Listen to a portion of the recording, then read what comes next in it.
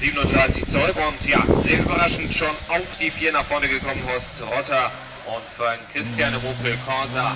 UPC also im Moment Horst Rotter auf der 4 mit einem Rückstand von 2,53 auf die Spitze, damit liegt er sogar 4 Sekunden.